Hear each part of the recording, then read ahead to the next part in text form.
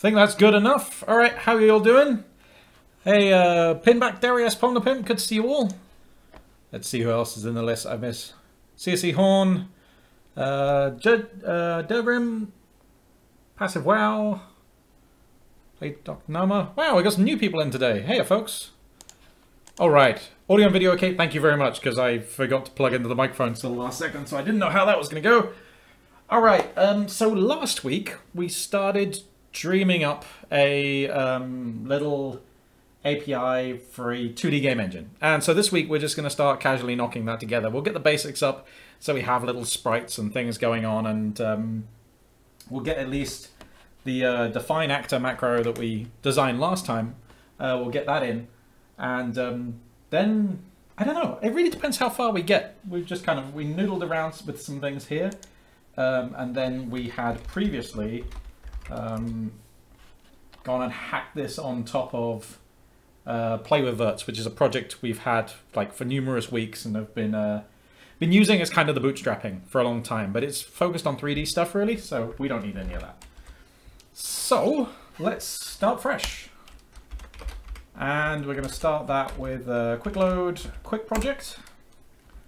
Um, we will call quick project make project and let's just make sure I'm in the right directory. So slime set default directory to code lisp, that'll be fine.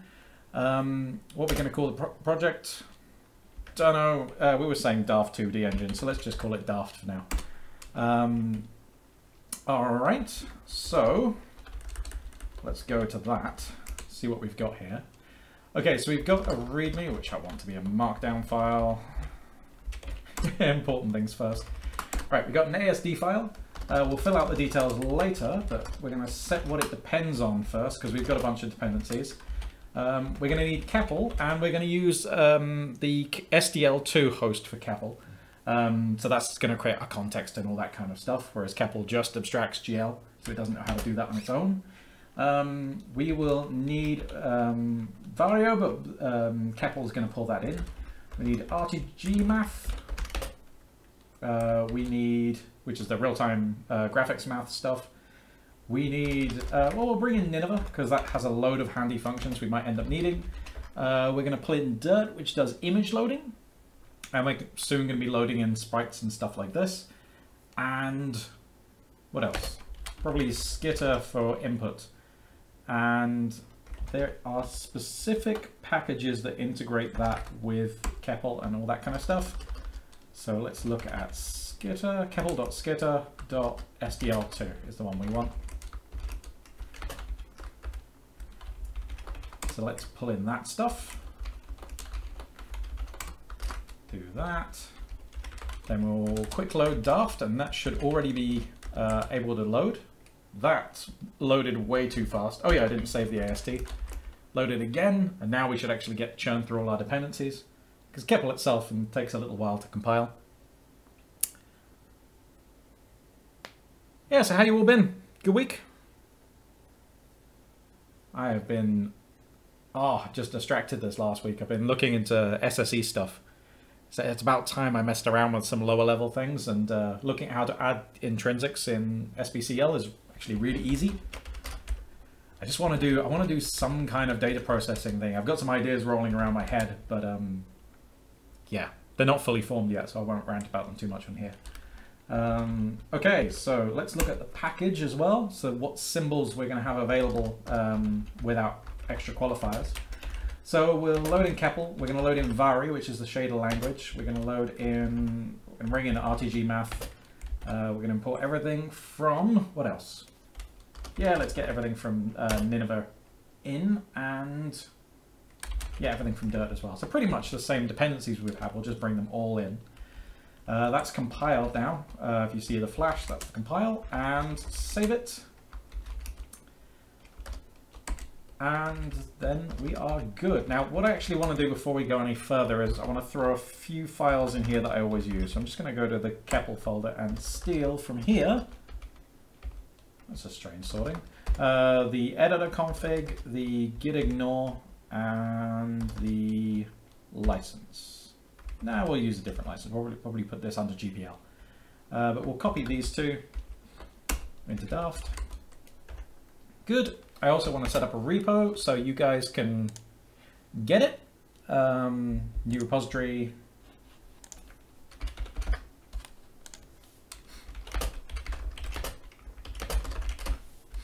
Okay, that's all we need there.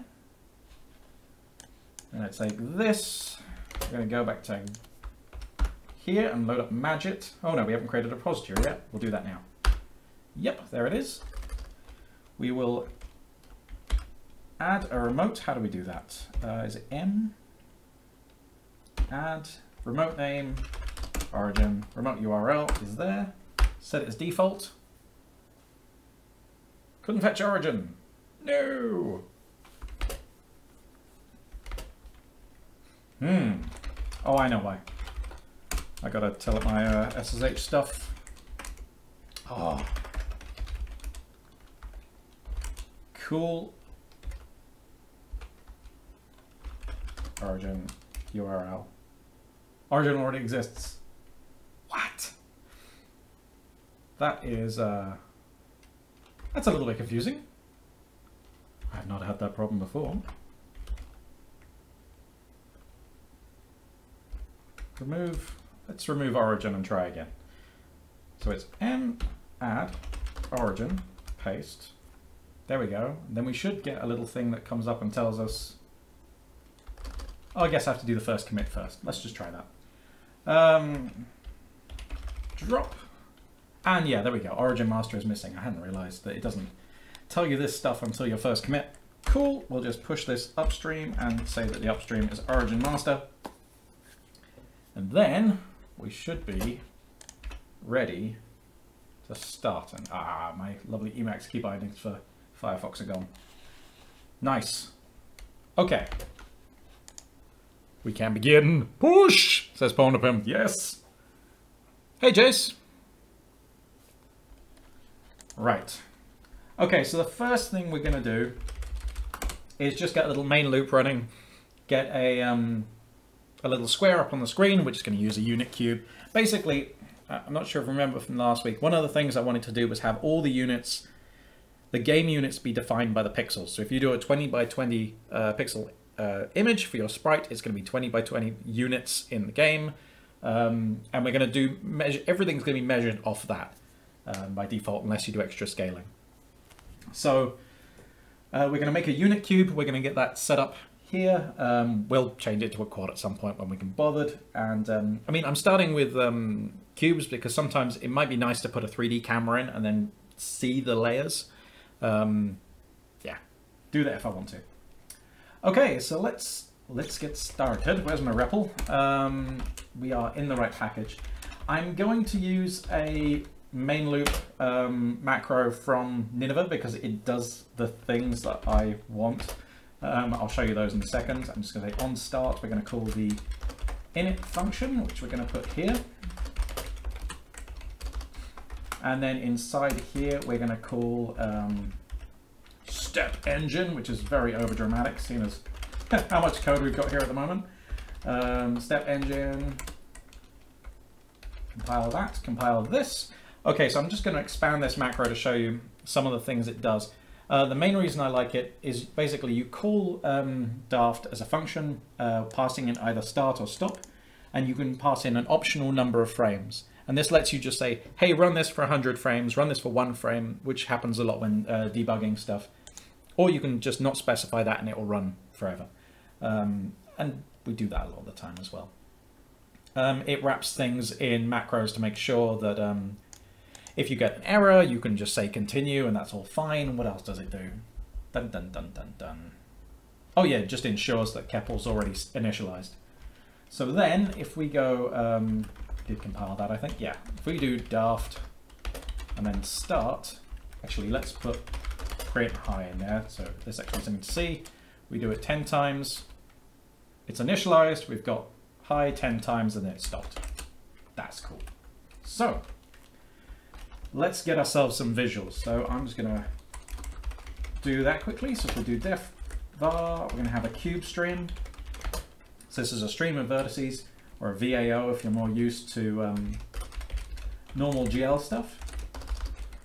And we're going to say unless uh, the cube stream is already like is non-nil, unless it's already been defined, then we're going to call a function called, it's part of the Nineveh package, um, dot mesh data primitives, and we're going to say cube GPU arrays.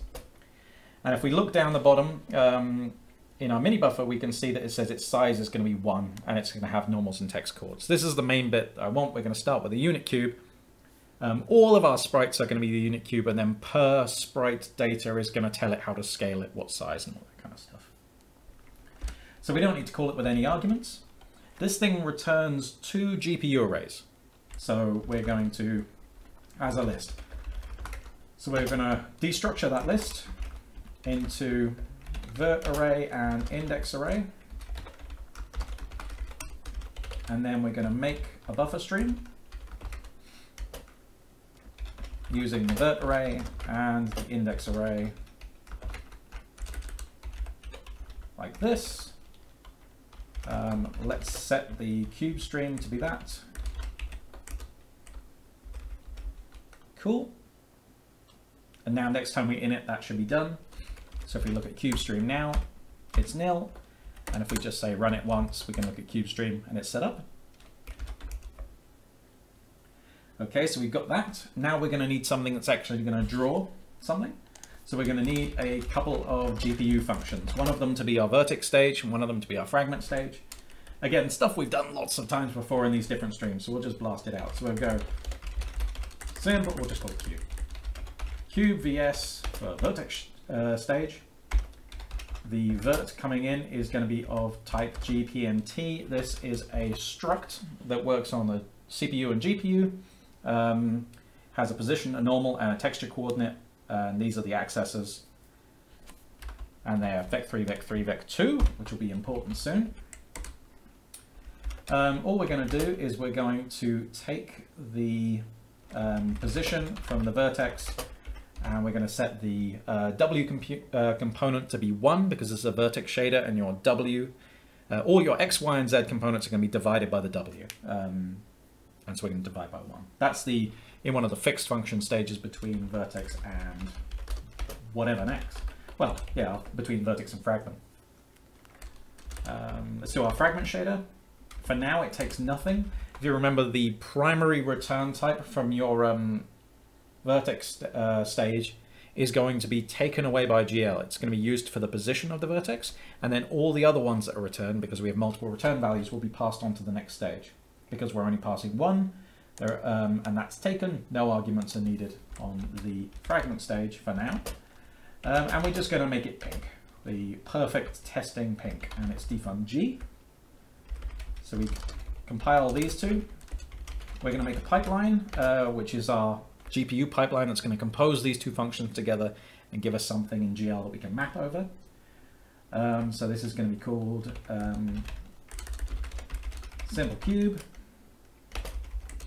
And we are going to specify the two functions. So cube vs. Um, and it, we have to give it the signature. Again, like GPU functions, as you'll have seen in GL if you've done that kind of stuff, um, allows overloading Hey, Borodust, how you doing? Hey, man, um, I tested... Um, okay, so Borodust has been doing some awesome work on wrapping up um, Chipmunk, which is a 2D physics library, which we're going to use in a little while, um, and uh, Nuklear, and a variety of other things. He's been just killing it recently. Um, so what I wanted to say, Borodust, was I've tested uh, Chipmunk on the Mac as well, and it works great. Thank you very much. So hopefully that'll be in Quick Lisp soon. Oh, that'll be so good to play with, man. Um, okay, what were we doing? Yes. Cube VS. Yes, that's our going to be our vertex shader. And this is going to be our fragment shader, which we don't have to specify any args. Again, because we're only specifying two stages here, we don't stri strictly need to name them, but if we wanted to, we can explicitly name them like this. Okay, that's compiled. Um, so what we're going to do now is instead of uh, printing hi, we're going to clear the screen, we're going to map over a GPU pipeline. Our GPU pipeline is called Simple Cube. Our stream of vertices that we're mapping over this thing is CubeStream. And then we're going to swap. And that should be it. So now if we just do start, we have a pink rectangle thing. And it's the wrong shape um, and a variety of other things. So let's start breaking this down. If we look at the viewport resolution, we're going to see something there. With no arguments, it's just going to get the current... Oh, no, it's not. I forget.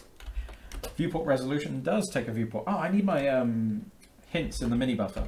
So if I just do slime enable concurrent hints, this is going to allow the hints to work while the main loop's running. Uh, viewport resolution, let's get the current viewport, the one that's bound in this scope. We can see it's 320 by 240, um, which is not the shape of this part of my screen, so of the window. So it's wrong. So we're just going to go and mess with that here.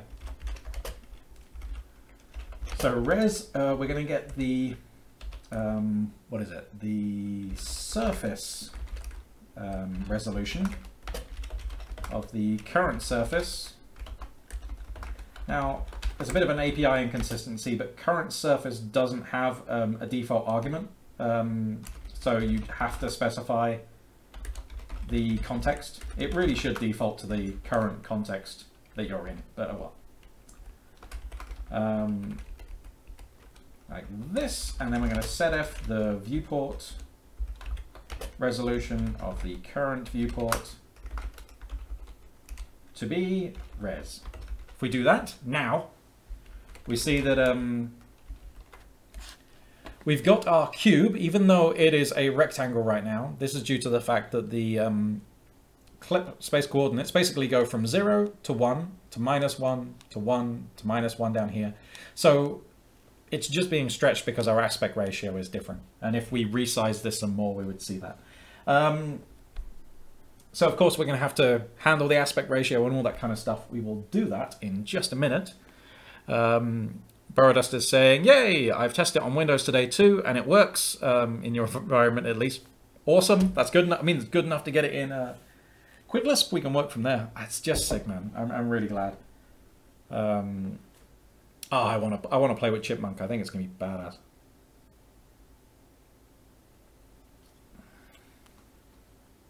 Okay. What is next?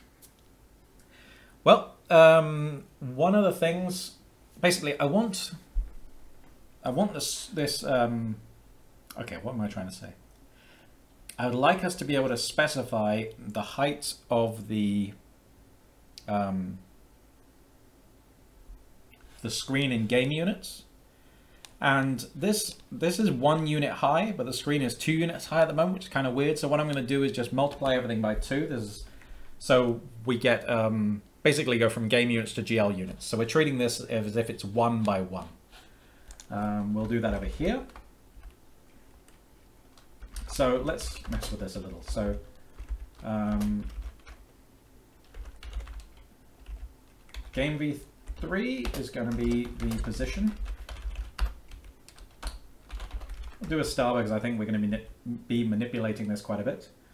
Um, GLV3 is us converting into GL units. So in this case, it's just going to be multiplying it by 2. And then uh, down here, instead of using position, we're going to use GLV3. And I've done something wrong. What have I done? Oh yeah, um, GL names are reserved, so I can't do that. Um, well, GL hyphen is reserved anyway, so we could just do GLV3 like this. Eh, All of these names are taken. Um, let's just do GV3 for now. Don't want to have to worry about this. Okay, so I recompiled and everything disappeared. It is actually still there, but what's happened is now we've scaled the cube, it's we're inside it, so we can't see it. Um, so all we're going to do is, for now, is just move it back a bit. So if we just do uh, GV3, um, actually we'll just do it on the same line. We go plus 0, 0, and we'll put it back minus 10. So, right, there we go. And now, because um, now it, we see we've got our one by our, ah, our unit cube now fills the screen. So that's cool. And doesn't matter how far away, because this is orthographic, um, it's not going to change the size. So if we do 100, it's still there. If we do 10, still there. But if we move it sideways, you know, we'll see it. Okay. Next thing to do, um, we're going to have to take care of um, zoom. Uh, so basically what I want us to be able to do is just specify the height of this in-game units and have everything else handled. Uh, so we're going to need to know the ratio between um, the height and the width so we can correct the aspect. And we're going to need to pass in the height that we want this to be. Okay. Let's add those as uniforms and then we can carry on. So, and uniform. Um, screen, height. In-game units, ah, it's going to be a bit much. Just do float. Okay, so, and then we're going to do um, screen ratio is also going to be a float. So compile those, and then down here we'll provide them. So this is going to be, uh, well, whatever size we actually decide. Let's make a variable for this. Let's do just a global for now. Def parameter, um, screen height, oops, in game units, and it's going to be 10. Let's take this massive name, come down here. Um, screen height is that. And then screen oops, ratio. Well, let's test this out over here. What we're going to do is we're going to divide this. So we've got these two numbers. We're going to divide x of that by the y of that. And we can see that the y is slightly is is actually greater than the x right now and so our result is 0.87 so the width is 87% uh, of the height there we go so we're going to basically do this except instead of saying star which is last thing that was computed on the REPL it's going to be res which we got here so we compile that. We're now getting them up these values up here. Um, so what we will do, what will we do? Um,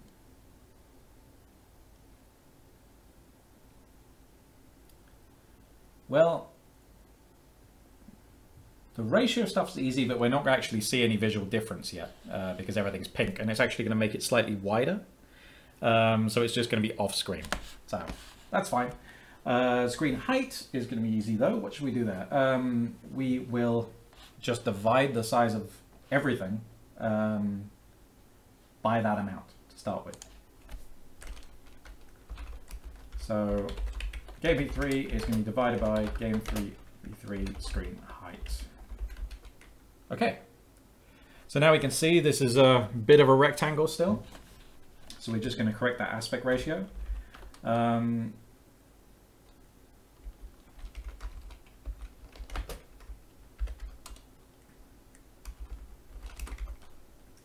so this should be the same and we're now going to stretch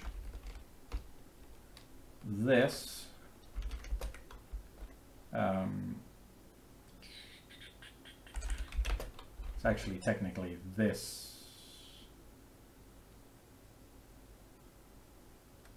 Yeah, divided by screen ratio. Oh, did I do that wrong?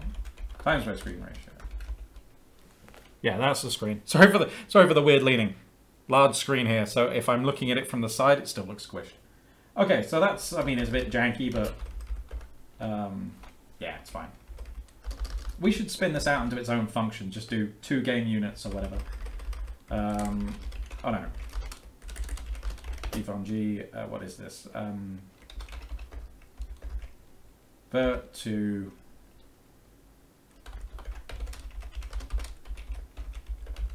GL, and then we'll just pass in, and what is it, vec3? Yeah.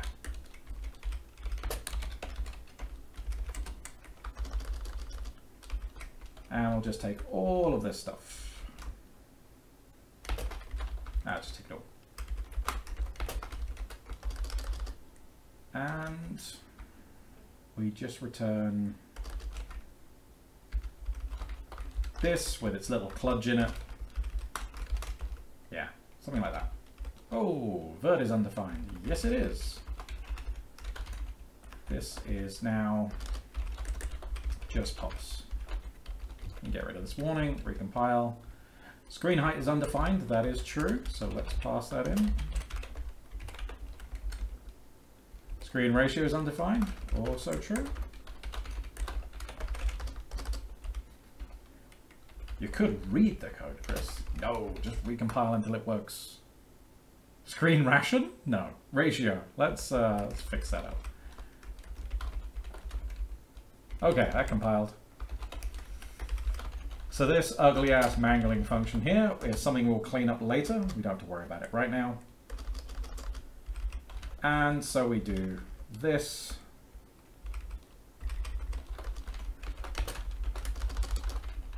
With glb3, something like that.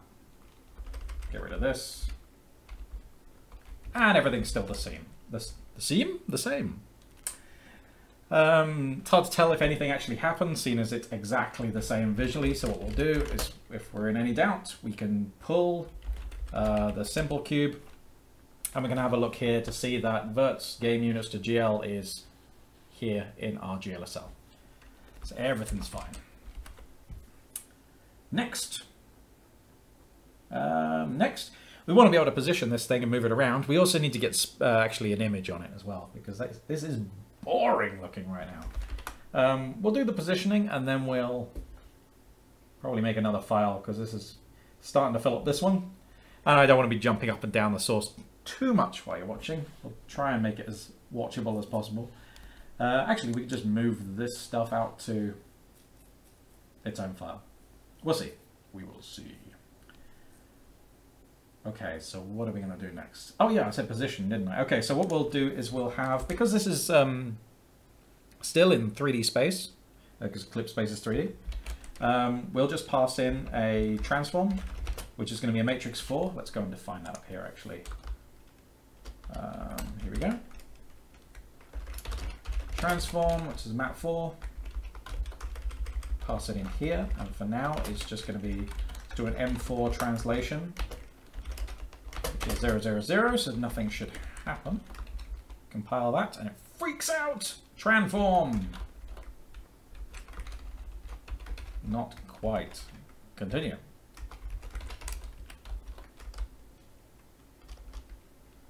Okay, and then we should be able to go here and say multiply this position with the transform matrix. Ah, yes. It's not going to like the fact it's a vec3. So um, we need to change our functions. Right, so um, let's mess around with this then.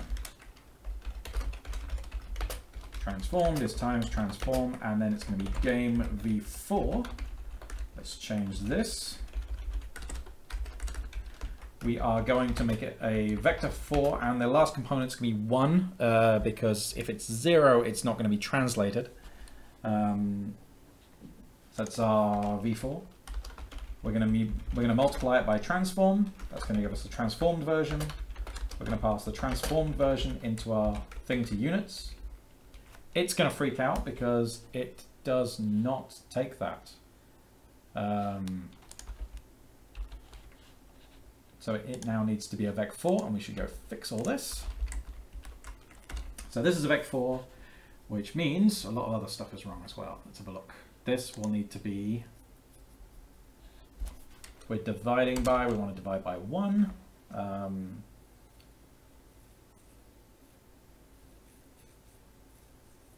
then this is going to be a v4 and the last component is going to be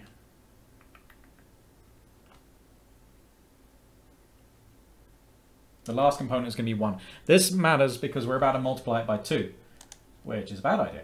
Um, so we want to multiply it by 2, 2, 2, 1. Again, there are cleaner ways of doing this, but this will work.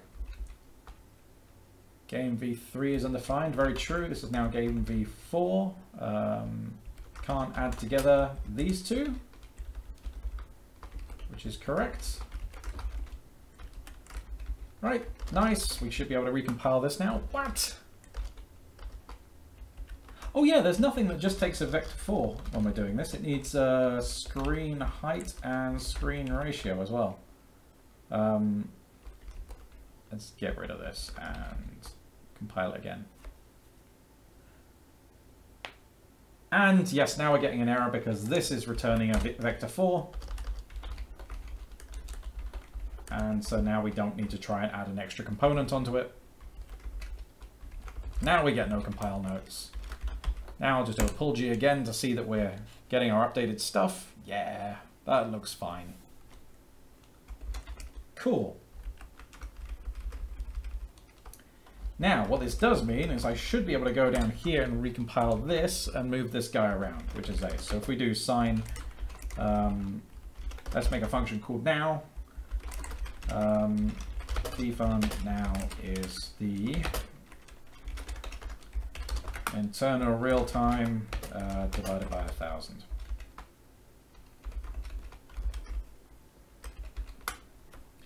And so that guy is now moving. And it, yeah, it's moving a total of one unit um, around the center. Cool. Pomnapimp, thanks for the hint on ratio. Um, even though I didn't see that you had helped. Hey, Love Like Santex, good to see you, man. Okay. So we've got the stupid basics done. Um, we're also going to need this to be able to handle... Um, what am I thinking of? My, my head's a bit gone today, I'll tell you that. Um,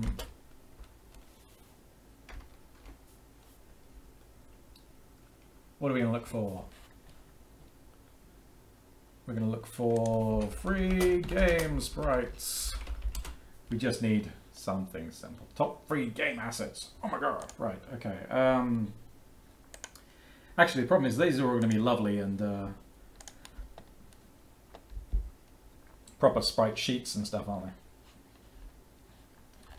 It's really, I just need a little shitty, um,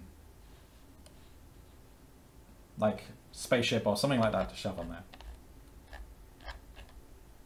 You know what? Let's uh, let's be lazy. Uh, around back in uh, play with verts, we probably got a texture knocking around here. Really? None? I'm not using that. Where's um? There's got to be something here. Episode 20, let's just do 19. Let's see what's in here. Nothing. Rubbish. Is that um that stupid whack picture that I use for everything? Actually, it's your your people's problem. You find me uh, a nice little sprite to stick on this guy. If you would, that would be really helpful. Um, preferably with alpha, so we can uh, start doing alpha blending on some stuff as well. And what else? What else? What else? What else? We're not going to worry about backgrounds and stuff today. We'll deal with that later. That's because it's hard and more because um, I want I want to put some thought into how I want to do large, like large, large levels, large terrains, tiles of things. I don't know. I want to think about that for a little bit longer. But it really helped to have a little sprite thing. So, oh yeah, we will just, I will use something from here for now. There's got to be, it's got to be something. Ages we had like this uh, little WAP texture that I was using for everything.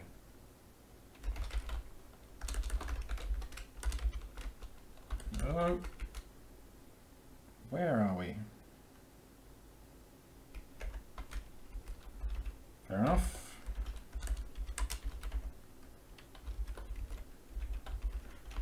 Right back to the beginning. Oops. Oh, we not doing branches then?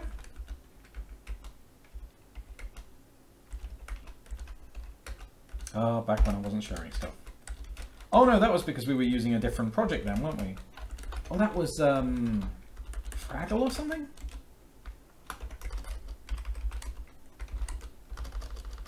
Yeah, I was doing some stuff there. Oh man, I'm just gonna have to use something for...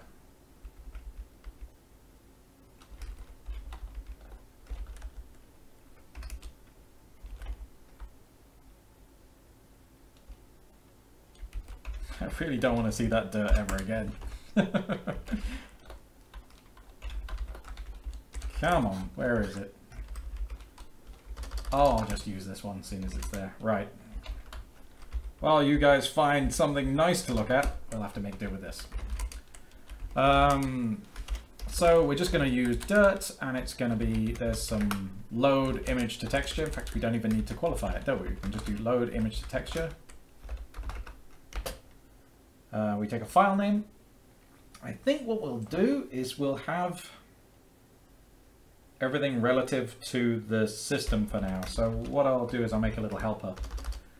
So let's go and um, let's do images. We'll make a new file.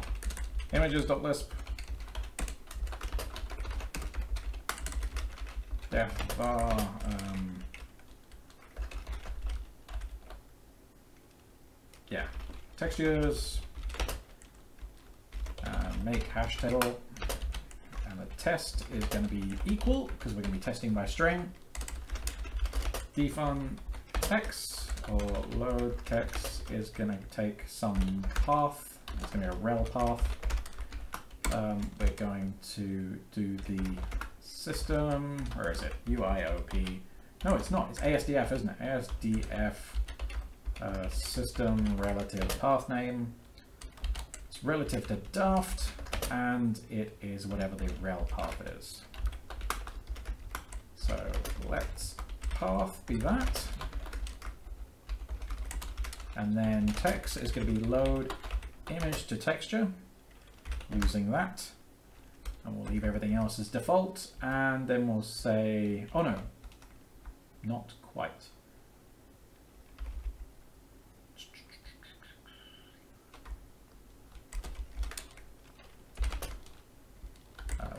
Get hash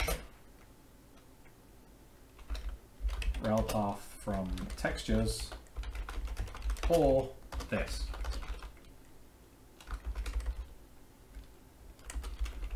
setf get hash rel path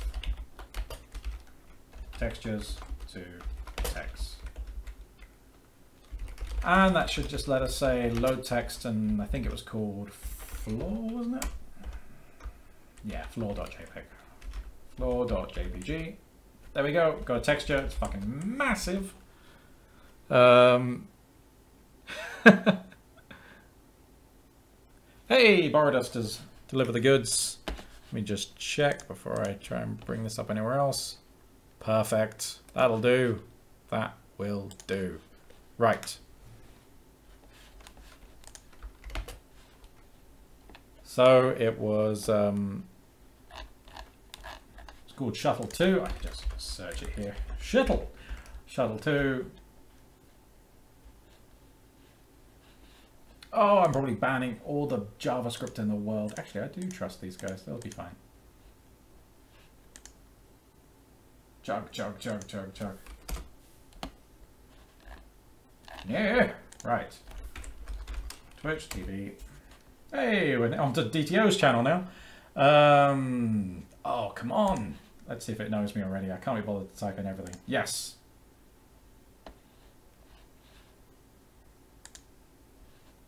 Where are we? Dashboard.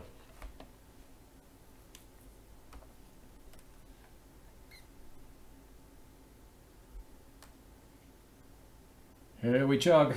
Twitch watching Twitch. And of course, I won't be able to see the thing. Um, Borodust, sorry man, could you just paste that link one more time so it comes up in this chat? it's really dumb.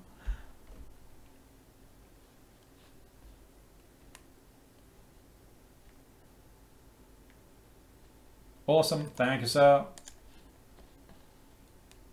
That is perfect. Shuttle 2. Save. Right, where is he? The downloads. Shuttle 2. Awesome. Um, copy that to Daft. I really appreciate that, by the way. um, Pwnapim, why are you why are you disappointed? Borodust, oh that lag. Oh man, yeah. Yeah, they uh they they do some serious buffering. Oh, only about five seconds? Oh, that's not bad. I thought it was about 20 seconds. Um, so anyway, we should have a shuttle. There we go. Good, that's going to be better. And if we load it again and compare the last ones by identity, so like by pointer, essentially, we can see it's the same object. So we're not loading the same thing twice. Right, now, where's our fragment shader? Down here. Dun, dun, dun, it's going to take a uniform, um, which is the sampler. It's going to call it Sam, because I like calling it Sam. Sampler 2D, compile that. Uh, we're going to need some UVs though, so let's do that. We're going to take UV, which is a vector 2. Once we compile this, we're going to need to go up here. We're going to need to say that we're going to return two values now, which includes the uh, tex coords of GPNT, um, which is our vertex. We'll do this, and then, what? Oh, Chris, you're an idiot. That's the type, not the name of the variable. Do this, right, so that's recompiled. And now we need to come down here and say we're going to use the one that takes a vec2. Now if we pull again, we can see that our fragment shader, I will try is now taking sampler 2D and it's taking a vector 2 from the previous stage. Hurrah! Um,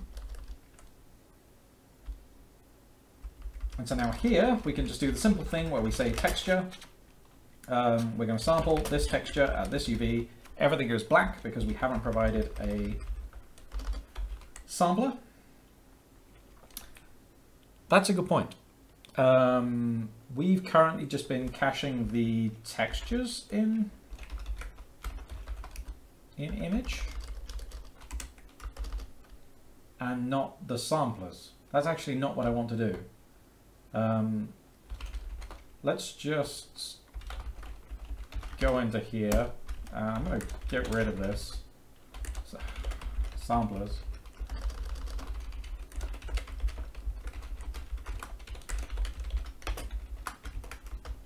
And we will take these two guys. Bam. Bam. List. Right, those two. Oh, oh fuck, it doesn't matter. Just leak some memory, it'll be okay. I was to rescue those, but I can't be bothered. Um, and this needs to be samplers now. And now again we can go and load text shuttle 2D. Shuttle 2, rather. Sweet! Okay, so now that's sampled, because we can't just pass a texture to the GPU, uh, to um, a shader. We have to pass a sampler, which tells, tells the GPU how to read from that texture. And we can put all kinds of settings on the sampler, which is nice. So daft Lisp then we can go down here. We can finally say Sam. And we can just, for now, we'll just do get hash. Um, oh dear, this is going to be ugly. Uh, from samplers. There we go, little spaceship. Okay, um,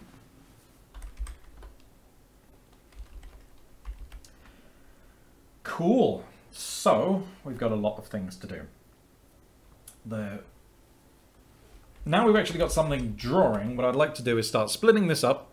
Uh, Pwnapim saying, no worries, I was goofing with sprites above in chat. cool. Um, yeah, um, what I want to do is split this up a bit. I want to get the macro that we designed last week. I want to drop that in and we are going to basically make that, um, we'll make the data type for our actors um, we'll make the array of actors that we're going to use, and we are going to, um, well, we're actually going to have, because before I was saying I wanted to update everything in lockstep. And what this means in, in my head is we're going to iterate over all of the, um, why my brain not working? Uh, iterate over all of the actors, and any of the changes you make um, get written into a separate array and then we swap the array. So we're double, we're just double buffering. And what it means is that like, if you, everything, every actor that's looking at another actor is going to see the values that actor had at the beginning of the frame, not the ones that are being modified as we go through the loop. And this is important because say two things hit each other, and then this one updates first, and it goes, am I touching something? Yes. Okay, I'm going to move to here, right? It moves back very slightly. And then this one updates and says, am I touching something? No, which is like wrong because at the beginning of the frame, they were touching. And so it wants to update based on that because it might be a bullet, for example. It might want to explode on contact. And this is going to bounce off. Maybe this is a character so that gets hit back slightly by bullets. So by doing everything in one go and doing the updates in lockstep, we just remove that complexity. And because this is a really simple engine, we can afford this. We're just throwing away some cycles but and memory. It does not matter. Um, so that's cool. We're going to do that. Um, yeah, that's probably the thing to do. Ah, before I forget, um, I haven't actually mentioned this on stream before, but I'm sure like every now and again, um, people want to know how they can contribute to various projects because again, especially in CEPL, there's a lot of stuff going on. It feels like a really difficult project to actually help in. Um, and yeah, it kind of is just because it's been kind of growing fairly organically for a while. One place that it would be really cool to get help, and it's not the it's not the sexiest job, but it is a valuable job.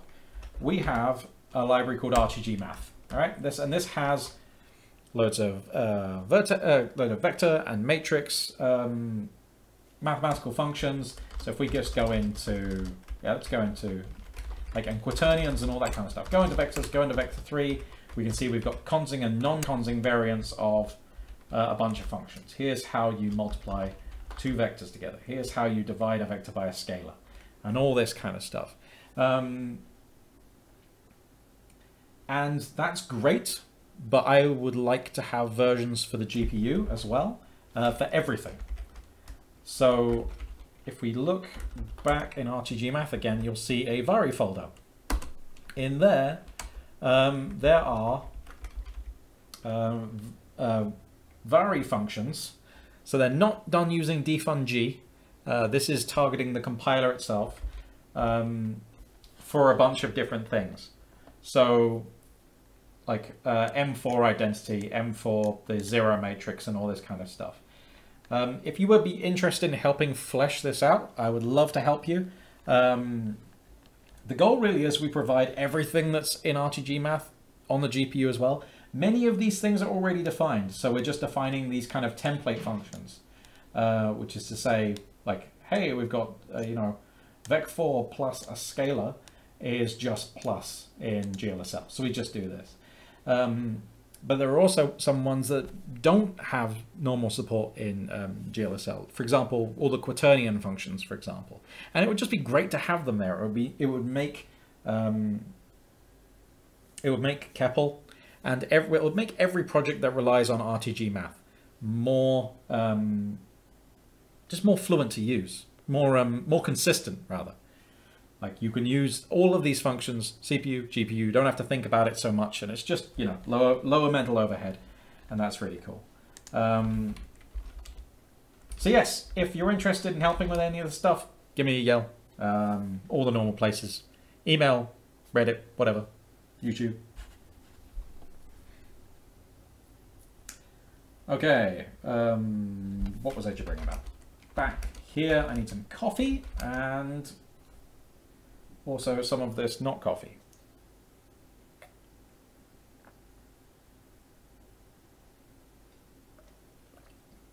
Now I know there's obviously a, a, bunch of the regular gang, who is always lovely to have, um, have seen a lot of this stuff before that I'm doing. Um, but if they or any of the uh, newer folks who are along want to uh, ask any questions about what they've been seeing on here, especially to do with the GPU stuff, feel free. I, I like we've got weeks to do all this stuff. I'm, I'm not putting any pressure on it. Um, so yeah, yell them out. Borodust is also saying you can also port RTG math onto SSE2. You could. You could. I, would say I, have been looking at some of the SSE stuff. It's kind of interesting though because um, some of the things map very well, of course, like, oh, we're adding two vectors together, we can use SSE add, and that's all great and stuff. And But as soon as you hit stuff like dot products and all that kind of thing, the wins go down a lot, unless you're doing things like multiple dot products in parallel. Um, it's just one of those things that, like, the making a vector class isn't actually the best abstraction for a lot of things. Um, it would be better to have the vectors in kind of a uh, structure of arrays format, and then do all of the yeah. So like I say, do the do the do four dot products at once, for example, or if you're using AVX, how many you can do there. Um, yeah, it's cool. So I'm not really sure. I'm still kind of like hesitant about adding. I mean, I will add some SSE stuff to RTGMath, but it's. I'm not expecting massive wins all over the place. And I'm thinking about other ways of crunching large amounts of data in Lisp. Again with SSE. Oh, the SIMD stuff is so exciting. It's got my brain got my brain ticking away recently. Anyway.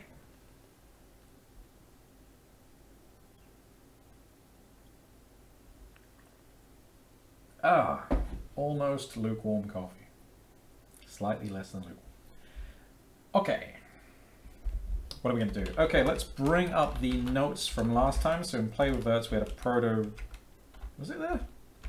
Oh, of course, I've gone on to a different branch now. Ah. Play with Verts. Uh, what was the last episode? Episode... REPL? My God. Episode 27, probably.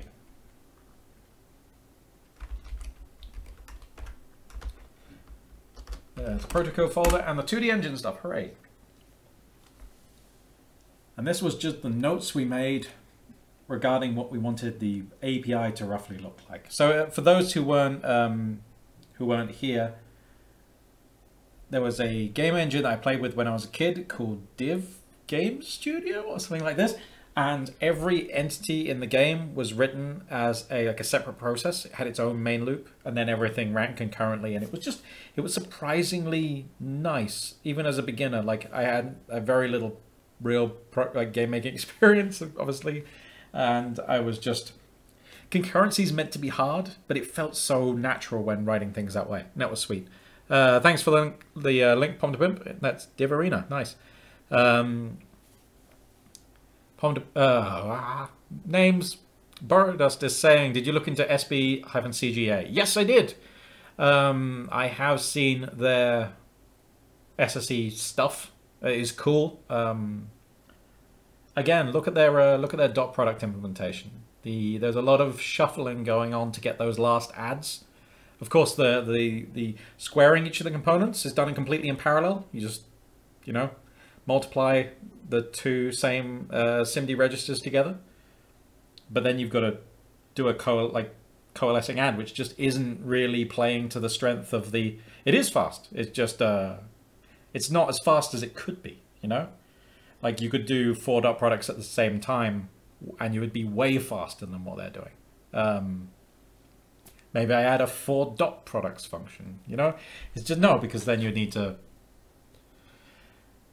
you would need to unpack that data into the right format. But, you know, it like all the basic stuff is really fast. Like it's kind of a no-brainer for um, for all the vector additions, multiplies, divides, all the kind of stuff there are SIMD operators straight away for. Like, yeah, it's great. And I would love to see some of the um, some of the matrix functions. I bet we can make shit ton faster doing that. But there are other ways. There are other ways, and I want to look into them. So I'm I haven't dived into that yet but as I'm like I haven't done any assembly stuff before, so this is kind of me dipping my dipping my toes in many waters or some terrible botched expression. Um, yeah. So I might do some of that just as practice and then do something a bit faster later on. I'm, I'm just, oh, I love fucking love SBCL though. It's the coolest compiler.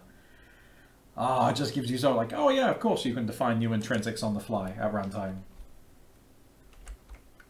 So good! Right. I'm so distracted. Nerdgasm! Right, so what are we going to do? Okay, so let's... Um... Right, we when we were doing this design, we started coming up with the idea that we should have different modes so that each of these is like a different main loop and we can transition with change mode. I'm not going to do that now. I'm going to do this simplified version. And then, um, yeah, then we'll add this later. This is more of a kind of state machine kind of stuff. Um, let's go and make actors.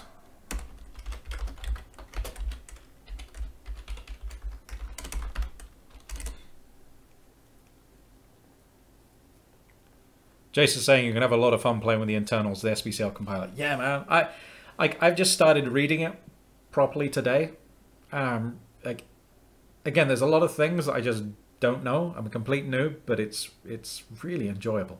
Like, just getting in and starting to piece things together. I need to write myself a guide though, as far as like, you know, a visitor's guide to the SBCL compiler, because lots of things in there confusing me. Right.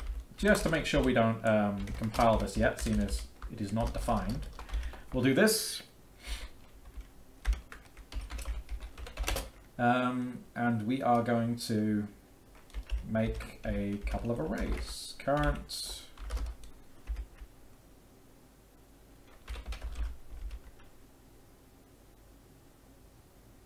actors, current actor state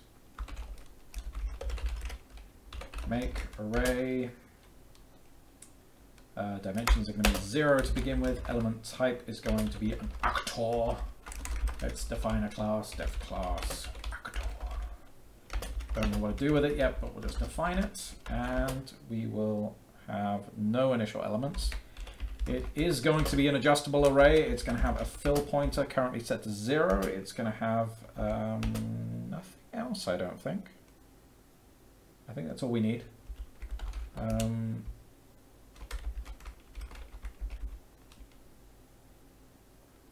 variable actor is unbound. Thank you.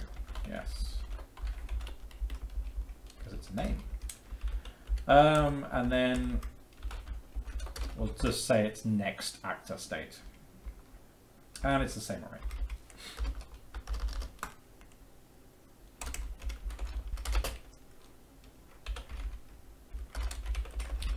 Add new actor.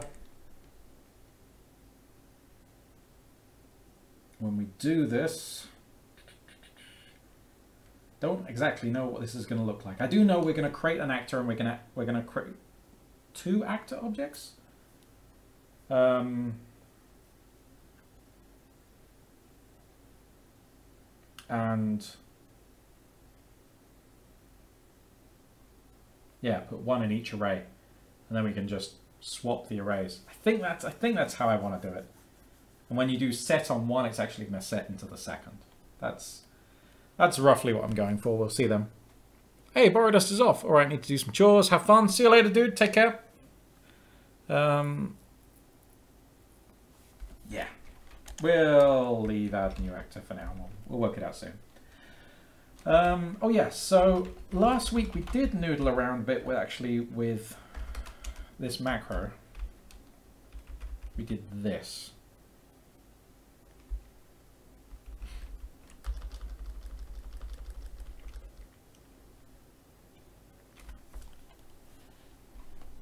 Um,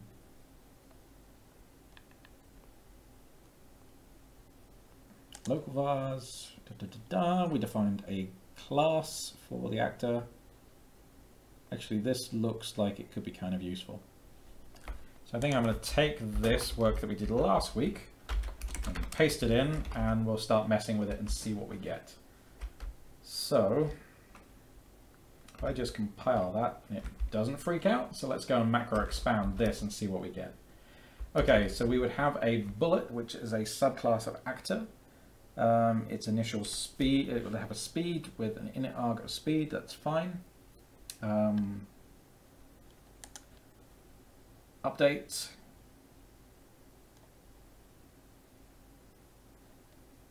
It takes a delta time, which we're not using yet, so I'm going to get rid of that. I'm going to define the update method. Def generic update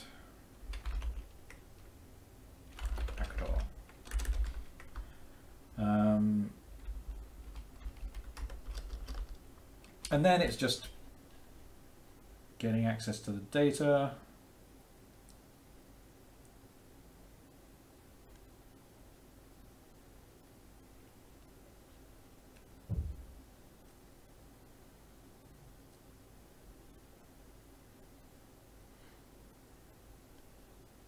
Can we specify what happens when you setf a symbol macro? Not sure if you can provide a different expansion for that. I doubt it. Hmm. Oh well, we'll see. We might have to change this. And then it's just the code that was already there.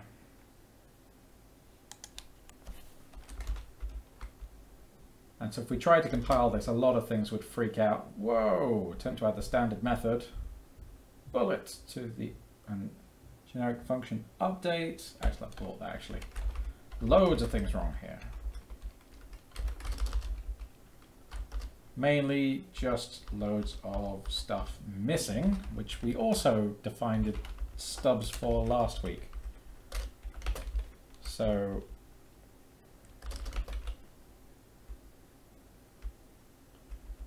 all these stubs, well, some of them aren't stubs yet. Um,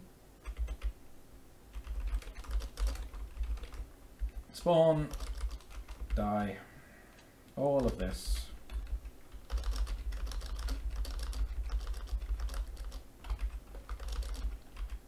We are missing the variable self. Where is that defined?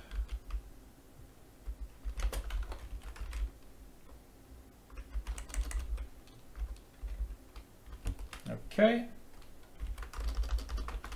Uh, declare, ignore actor kind name, pos and args. And just return nil for now.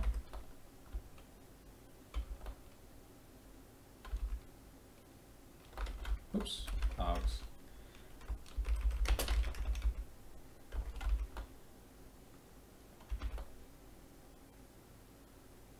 Oh yeah, this move forward thing is actually actually somewhat defined. Let's not do that. Just remove it. Oh, what am I doing? Come on now. Clear. Ignore. Distance. L. Okay. So now all of these should be just compiling but useless. That's fine. That means this now compiles, which is good. It's actually just helpful to um, even though this does nothing, to, to get it to compile, to put in the stubs and just make some progress with the actual kind of design of it and then, yeah, then we'll flesh it out some more. Um, so,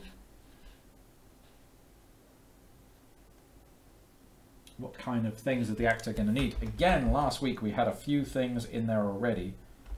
Um,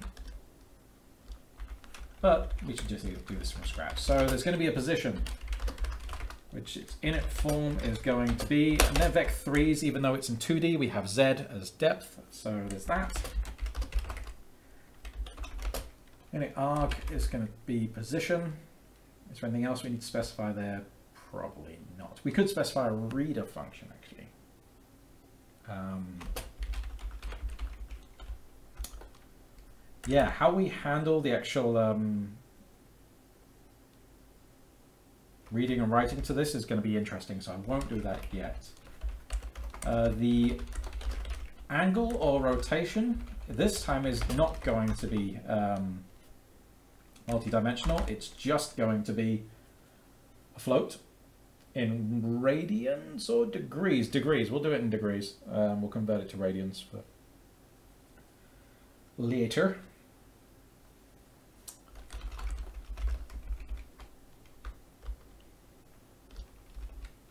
Okay. So if we went to make instance bullets, we'll see down in the mini buffer it can take a speed, a rotation, um, and a position. That's good. That's what we want.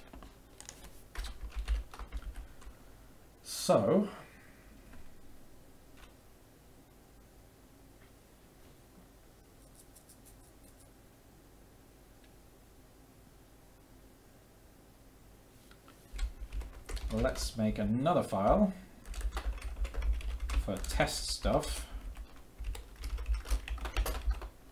And let's move this guy over here. Oops.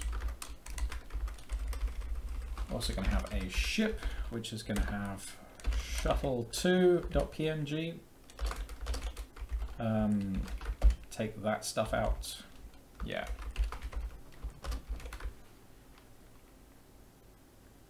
And there's nothing in its main loop. It's just going to sit there. Actually, no, what we could do is we could do exactly what we're doing in the other file. We'll try and get this logic we've got here working with the actors. It's all kind of a bit messy at the moment. I'm not sure where, where and how I want everything to work. Um, what I should do is actually push this, all the code that we've got so far. Um, but to do that,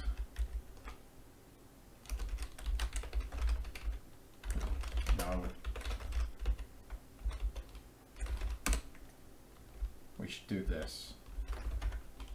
What else have we got? Untracked files. Dun -dun -dun. We have an actors.lisp, we've got an images.lisp, of course. So let's do um, file images. Um, we're not going to build test by default. Just throw all this in. Actually,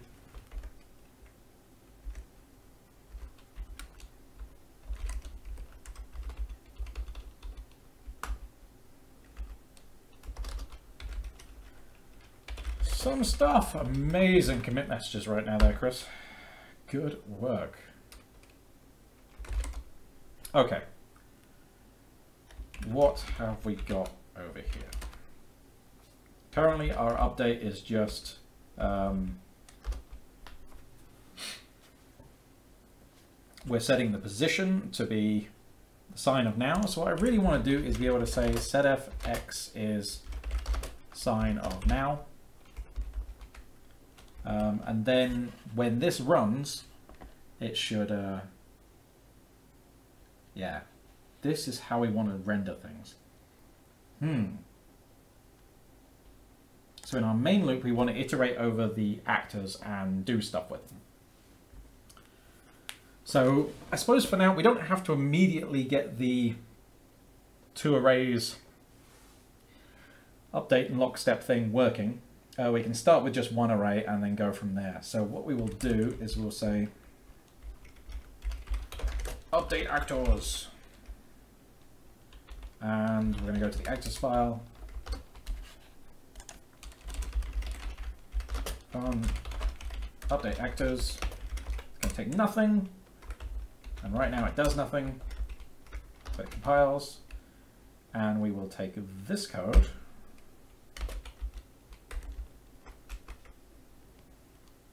Update and draw be the same? Yeah, it can be for now. Oops. Why not?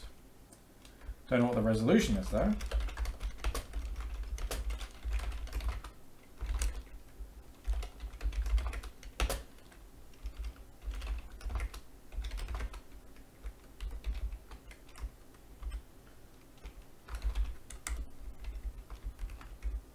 Okay, so that's still working. So we've got this loop down a bit smaller. Um, we're not using res for anything else here, so let's just move this code down. Ultimately, we're not going to reset the viewport size every single frame, but it's not hurting us for now. One thing that's slightly odd is I would have thought that editor config should have kicked in. If I do lots of spaces and then save, yeah, it removes the spaces now. Good. Um, so that's cool. We clear, we update actors, and we swap. We're, we're going to probably do update and render together, so, well, for now at least, it does not matter. What's going on over here? Not much. Lovely quiet people. Um, so we assume that we are going to go through, we're going to go to loop for, and we will do this in a smarter way later rather than a draw call for every actor, but for now it'll do. Um, for actor across, because it is an array, uh, current actor state do, and then we're going to draw. And then for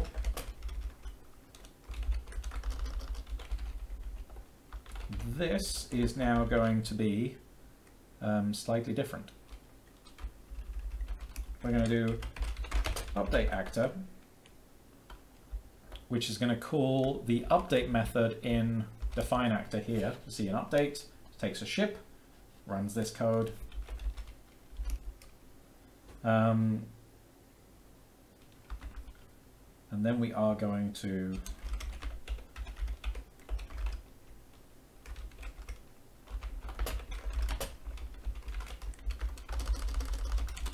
throw this into another function. Just to move the clutter slightly.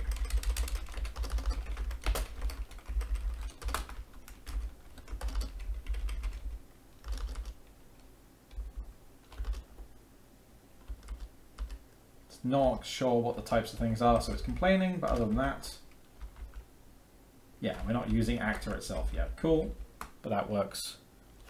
That's gone though. worrying, and the reason is that current actor state has nothing in it. So add new actor, we're going to bodge into life by just saying um, push, um, what are we going to do? No, it's slightly different. Uh, push is for lists. We want to make an actor. Oh yeah, let's just do Wait a second, we have, the add new actor is just spawn. We've done this before. Let's go look down at spawn. Um, malting. And we had code for this last time as well. Let's go look at what we had, just for hints. So we fudged the name, we made an instance of it, and threw the args into that, which is fine. Uh, we made up a position, and we pushed it onto a list of things. In fact, this code is almost what we need. Um,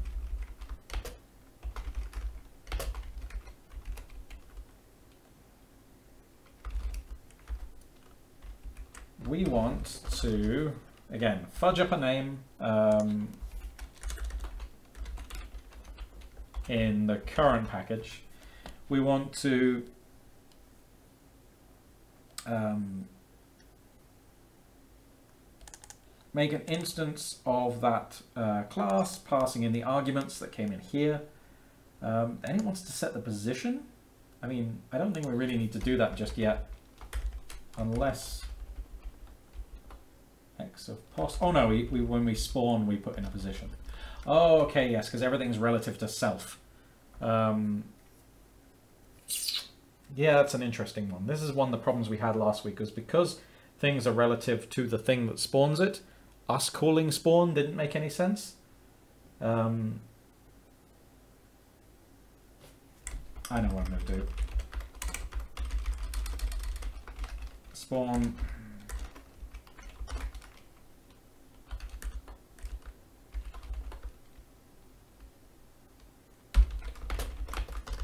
Um, we'll do this. We will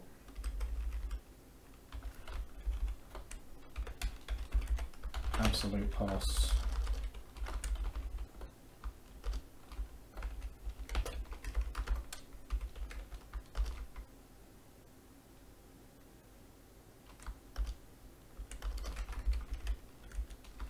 instead of pushing onto the list, we've got a vector push. I can't remember what it's called. Vector push. Vector push extend, that's it. Um, we're pushing the actor we've just created onto um, the current actor state array. Soon we'll be creating two and pushing one to both, and then we can do copying, but for now this will be fine. Um, let's have a look. What next? Let's try and compile this and see what happens. One warning! Doesn't know what POS is. Um,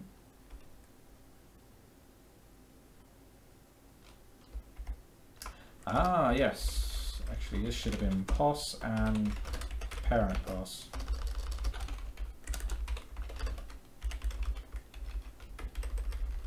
Okay, now we've got spawn. What does it look like here?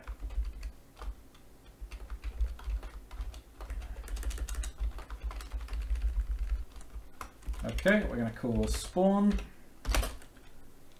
with an actor kind name with a um, parent position, which is this, uh, the position that was passed in, and the args. And that's good. So that is the function that is going to be used uh, by normal people in the API. We will add a little helper for ourselves called spawn.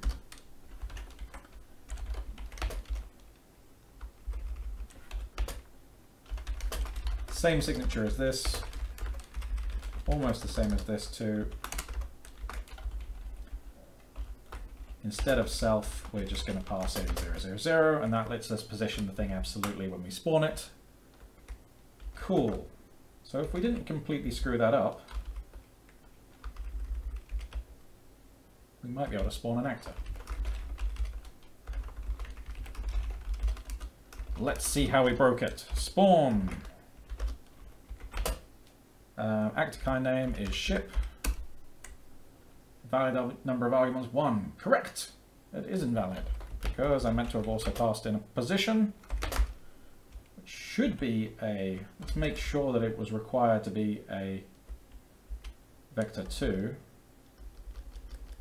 Yes. That is what was expected. Good. Okay, there is no standard function. Uh, position when called with arguments. Ugh.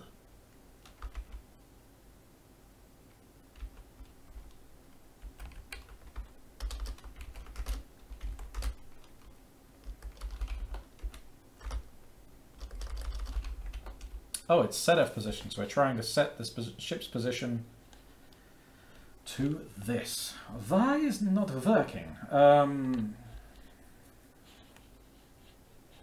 Well, let's have a look at the ship object. It has a position and a rotation. But it does not have, um, if I remember correctly, let's just go and see, macro expand this, it's not going to have a reader or writer functions, accessor functions essentially, for um, the position. Ah, damn you because that belongs to actor, and actor hasn't specified them. Not sure what, I'd, what I would like to do with that yet. I think for now we'll just uh, add them. Oh, come on. Accessor is position, accessor is rotation. And um, then we have a ship. Cool. Okay, so we now have um, a current actor state with one ship in it. When um, update actors is called, we loop through this massive vector and update um, the actor and then draw it. Um, this is calling this, which is the main loop for the ship. Um, and we know that's working because we've got the sine motion going on there and my mouse is being slightly weird. Yep, there we go. That's behaving a bit better. Um, where are we now? 2018. Blammy, that took us a while. But it's okay, we've got something started. Um, we should also be able to um, spawn more ships, but they are going to be a little bit boring because they're all going to be in the same position. So what I want to do is I want in our ship, um, we can specify start time uh, to have been get internal real time. Now, seeing as we've just made up this API, I'm not sure if this is going to work. Yeah, that should work. So let's do that. And now all of our ships, this is what I love with Common Lisp. This ship that we were looking at a second ago now has a start time, which is brilliant. So now we can add that plus start time and it's using that, which means if we add spawn another ship, and we'll spawn it actually at three. Oh, where'd it go? There's two ships. They've got to have different times. Start time 5-9, start time 593, blah, blah, blah. It's a Different number though. And it's, you know, signed, so it should have made some difference. Hmm.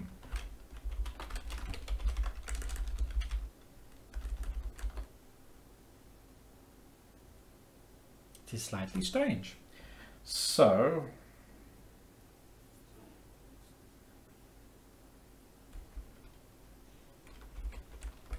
another thing I want to check. The position of this is minus 2, 3, and that's 1, 4. Oh.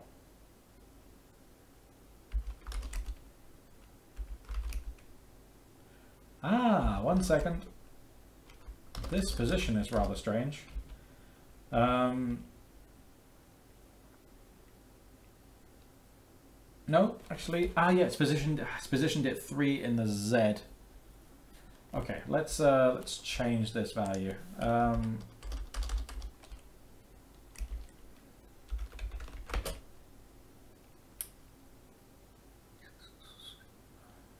so we'll do zero, and then yeah, y is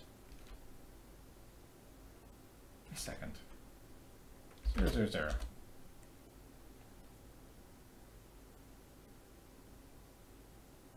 Hmm.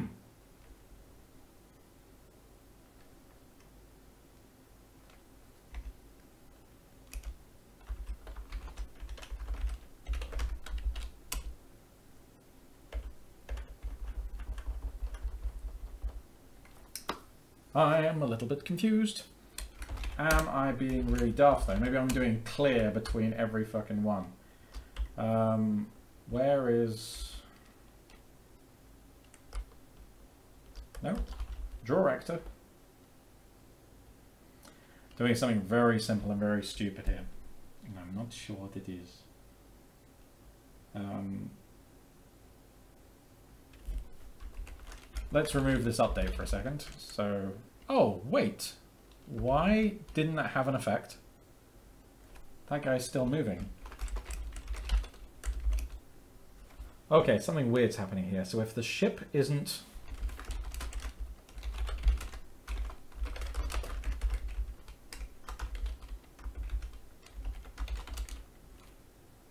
What are you? Hmm. Oh, I am a little bit confused by that.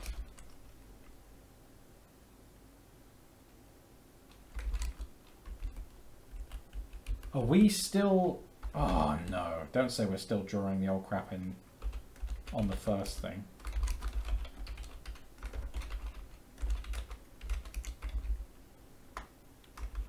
We're not though.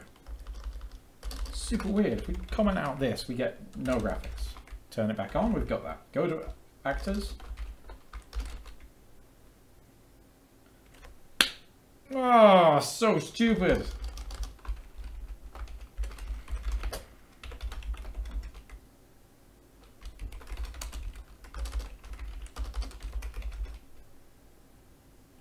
Whoa, what the fuck? Why is that so janky?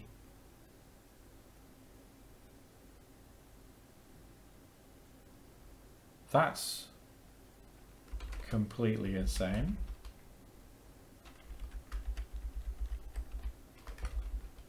Nice and smooth, horribly janky. Super weird.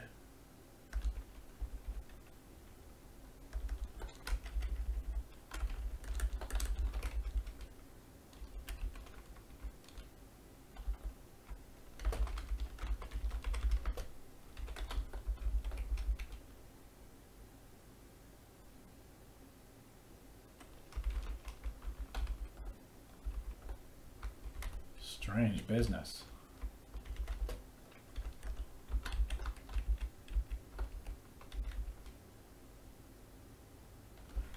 You get the feeling that there is some int clamping going on here.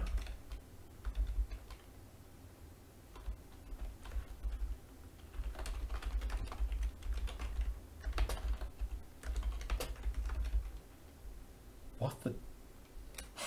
what the fuck? That is so strange. I'm doing something very stupid here and I just haven't worked out what it is yet. Ah. I mean, the start time can't be updating. That's, that doesn't make any sense. Which means we should definitely check it, because that's probably what's happening.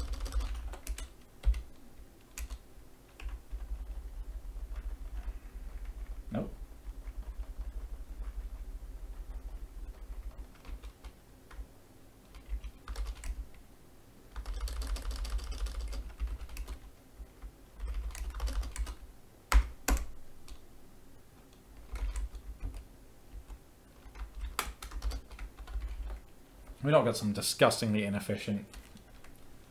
Nah, I can't be it. Plus starting time.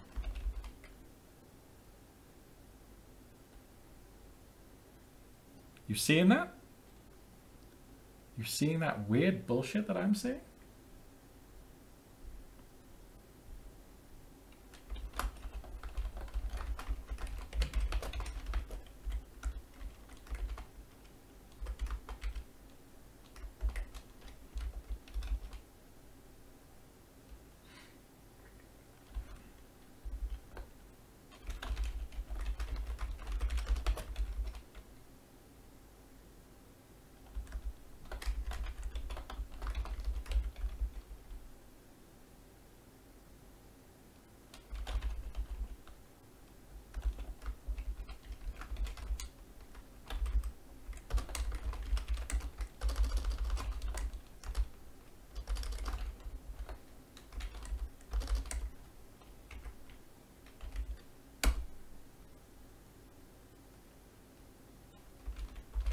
I don't know, man.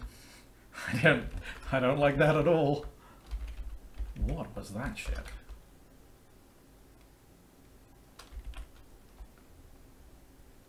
Hmm. Suggestions may be sent in on a postcard of to what the fuck that was. Um, my brain's not working enough to tell me what it is now, so that's that. So where's uh, where's our test objects? Instead of get internal real time, we'll just do now. Um, and then we should be able to spawn another one at minus three. And uh, yeah. Again, not sure why that's at that position. Unless I've... I know why that is. Yes, it's this.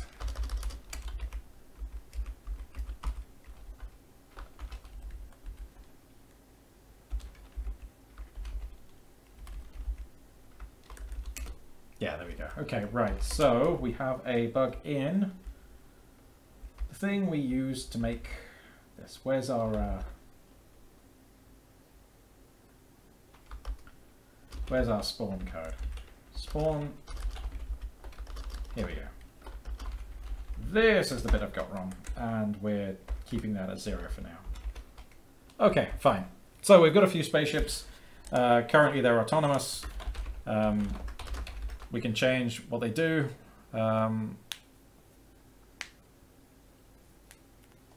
and then we're going to have them spawn bullets whenever we click something. So we will do that in a minute. Uh, Pomdabin says, no clue here. Hey, Johnny, how you doing, man? Um,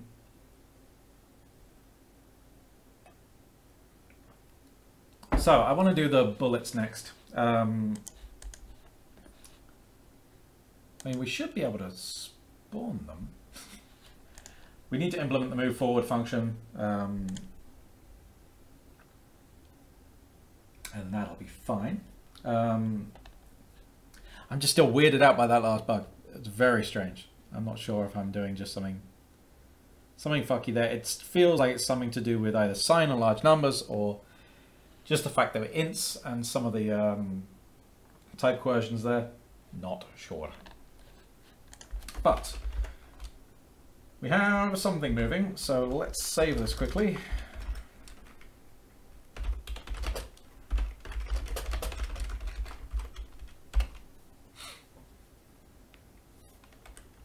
Currently as well, we've hard-coded what um, what image we're using, so we should actually take that from the visual parameter um, when we do spawn. Um, I wonder where where does that end up? actually, I don't think we use it at all right now. So we should um, probably modify our macro to actually make use of that. There's too many things we're just kind of throwing away at the moment. So basically, we all of the ones with keywords are, are properties that belong to the system, and the ones without them, just regular variables, they're going to become local to this process, uh, local to the actor. Um, but we remove all the keyword ones for now and just ignore them, which is what was fine, but it would be quite nice to use those. Um, so, how should we do that? It would be kind of nice to give the actor their visual, which is going to be an which is going to have no init form. It's going to have an init arg, um, which is going to be visual, but spelled correctly. Accessor, we're not going to use right now. So now all of those uh, spaceships now have a visual slot on their class. Um, in define actor, we're going to have to get the keyword vars, which is just going to be the opposite of this. Um, ah, just be lazy. Remove if not. Um, keyword, so that's going to get these. And then we can just shove them through a destructuring bind, I think. Um, yeah, let's just do visual for now. Put Visual in the destructuring bind. We'll take the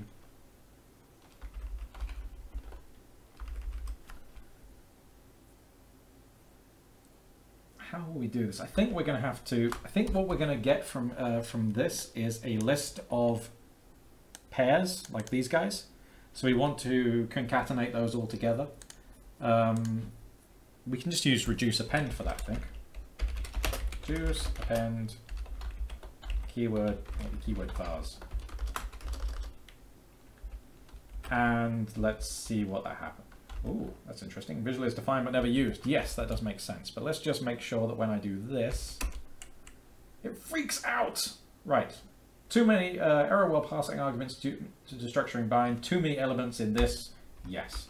So for right now, we're just going to allow you to specify. Oh no, let's let's specify sprite size, seeing as that seems to be one of the ones I want to use.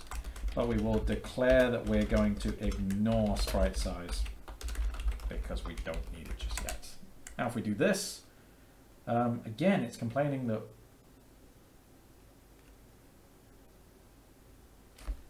too many elements in this list to satisfy the... Oh, of course. Oh, I'm such an idiot. These are meant to be and keys. These are keyword arguments. Let's try that again. Okay, now that is at least being passed down on def class, um, we are going to want to just refactor a couple of things here.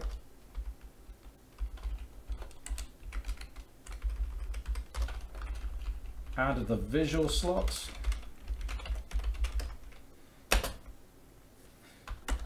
Add the visual to um, to our actor. Is that the way we want to do it actually? Uh, yes, I think we do. So we'll just say init form, this will be run when the thing is instantiated, and it will be, let's see what the function is called, load text, which is really load sampler, like load texture and give me the sampler, but that's fine. And that should be the visual. Let's just compile this and see what we get. If we expand define actor now, we can see that there is a visual um, in our bullet class. It has an init form which is going to load the bullet texture. Great. And down in define ship, again, we get another one that's going to load shuttle too. So when we do this, we'll probably find that those, I mean, while the ships have the slots, they're not going to be initialized, I don't think. So let's look at current actor state ship. And the visual property in each of those is unbound. Um, so that's going to freak out if we start to use them. So Uh, let's loop over these quickly and fix them up. For A in uh, current actor state, do set a slot value of A and it's going to be the visual to be was it get text? That was load text, wasn't it? Load text. And right now we're just using this. It's not a list. That's true, it's not a list because I used in instead of across. Okay. Now if I go and look at these ships again, we should see that they all have a sampler in the visual slot. And so we can go and update the draw actor routine to, instead of just getting this sampler from a hash table, we can use the correct um, sampler from the actor itself. So we're going to get, from the actor, we're going to get the visual. And that is fine. Nothing changed because uh, they're all currently using the, the same one. Um, if we use, did I already delete that other file? I think I did, yeah. If we had another sprite to put in there, we can... Um... Oh, so one second. Jace is saying... Um... Actually, both mod and start time before... Actually, mod both now and start time before adding. My guess is that either they've got too much precision to present... Oh yeah, they've got too much precision to represent as a single floating point. Yeah, that's... Uh... Oh yeah, of course. If it's too large, they're going to yeah, they're just going to slam out and we're going to get very low precision. That's it. Good job, sir. So really we should do... Um, so add start time and now together and then... I'm going to do that. And we will mod by, you know, 2 pi f as a single float. That'd be fine. Anyway. Oops.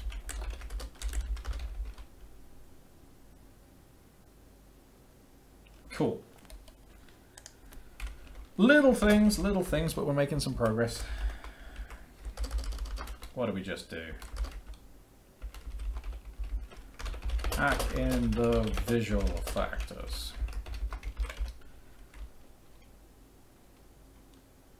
We did have that other... Um, it would See, actually, this is a bit shitty because we've got...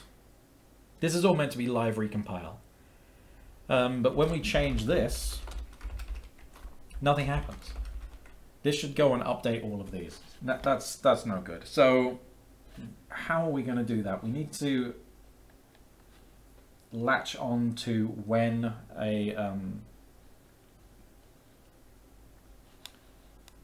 So when this is recompiled, we want to go and check. We want to just go and reapply the visual, basically. Yeah, let's do that. We can we can hack it in pretty easy. Um, so this is the macro that defines the actor. Um,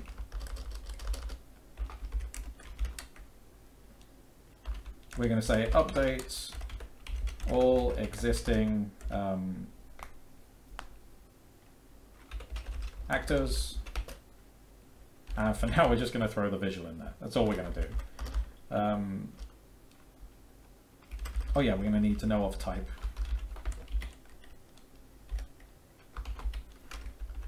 So the, uh, the visual is going to be a string, yes, so we can probably leave it like that. But this one, we're going to need the name of the type. I think that's it.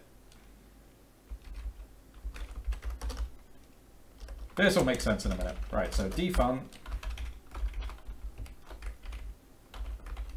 By the way, is this uh, is everything? Um...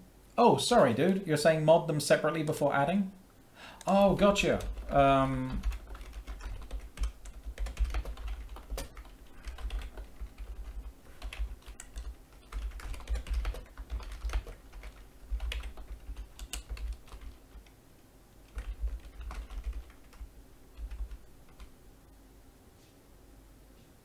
Oh yeah, now it's trying to update everything. So we'll compile this. Do nil for now. Say continue. Right, so after compiling now, if we go and look at the emitted code, um, update all existing actors of type ship with this visual. It's a good good enough fudge for now. So um, type name and visual. So what we'll do is we'll just do exactly what we had a second ago. Loop through this. Um, when type of actor is type name, um, set the slot to be the load text of visual. Um, and now we need a different sprite. Let's take this guy. This is the partner to the other one. Downloads, shuttle, copy to Daft. Oh, memory fault. Damn. Now, wonder why that is. Okay, the reason that is happening is that compilation is happening on a different thread than our execution is. And we're trying to allocate a texture. That thread doesn't have a GL context, so it's getting freaked out. So, um,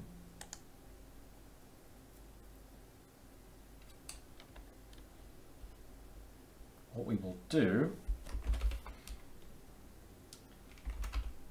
is something nice and hacky and simple. Uh, def bar task for next frame. Nil.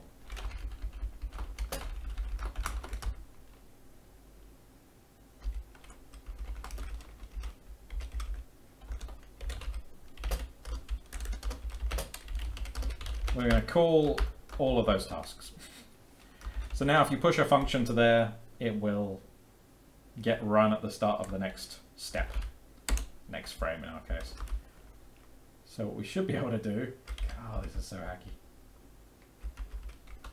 is say push this as a lambda to tasks for next frame. oh wait, why didn't shuttle 2 work? No! What the hell? Shuttle 2 does look different from shuttle. So we did shuttle. What happened?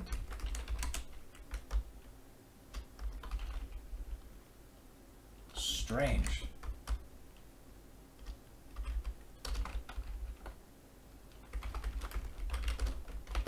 Print the visual and let's go to the REPL and see what we get. Oh, oh, fuck. Oh, yeah, of course. I'm such an idiot. Uh, back, back in here, once we've gone and...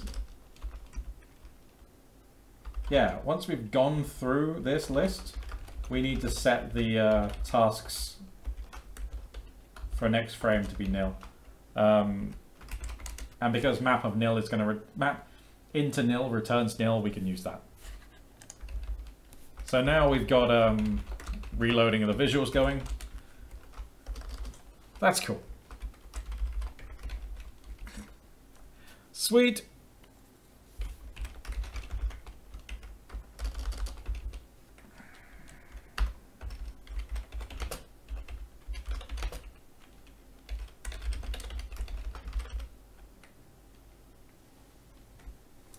That's pushed. Cool. Okay, so um, we can't really... Oh, we've got 15 minutes left. Maybe we can finish without implementing this. We will see. Um, there's a couple of things... At the moment, the size of our ships are just um, one. Every Basically, every um, sprite is the same size. We've got a unit cube sitting here and the height here is like 9 by 9 or 10 by 10 or something like this. So that's no good. We wanted the size of this to be based on the size of the sprite. Which um, let's uh, load text shuttle 2 was 52 by 52 and currently this is 1 by 1 so we're going to change it to respect this and then we're going to have to zoom out a long way because everything's going to look ridiculous. So how do we do that? Um, actors by the way, folks, yell out if um, I'm not seeming coherent or I miss you're missing something or anything like that because I'm, I don't know, strange mood this evening and I'm not sure if, basically, is this good TV? I don't know. Um, so yeah, yell out if you need anything, please. Otherwise, I'll just kind of keep mumbling to myself and carrying on. So what do we need to do? We need to size things based on the size of our uh, visual.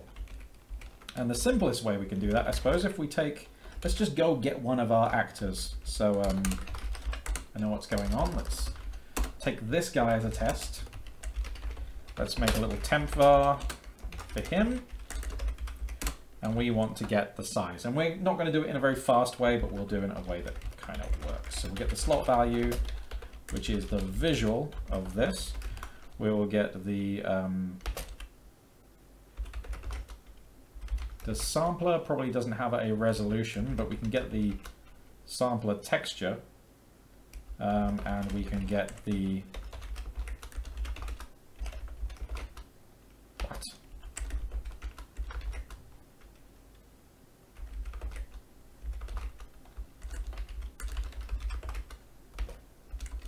Yeah, we can get the resolution from that. Perfect. That'll do. In a pinch, that'll do. So what we'll do is we now need to upload the size. So let's dump this here for a second because we're going to need it in a minute. Uh, actually, let's just let's calculate the size. So we say let's size is this.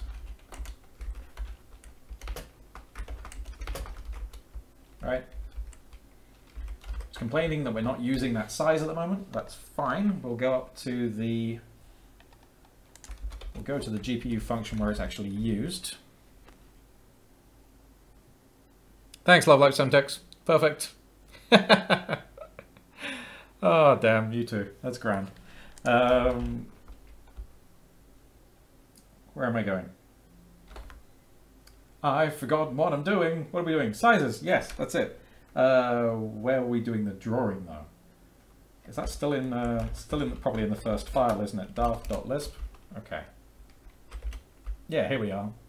Here's our vertex shader. So let's add another uniform, which is the size, which is going to be a vec2. Um, now we should be able to go down, go down here to draw actor and pass in the size, which was just in that size variable. Done. So that is now up here on the GPU. Um, and then we're just going to multiply this guy by size. Um,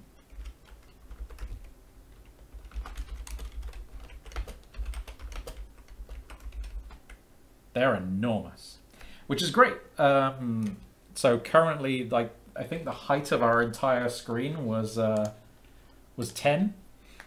These are guys are 52 by 52 high, so if we change it to 100 now, um, we can see that they fit. You'll also notice that like you can just about see the others underneath um, because I think we positioned them at something like 3 minus 3 and stuff like that.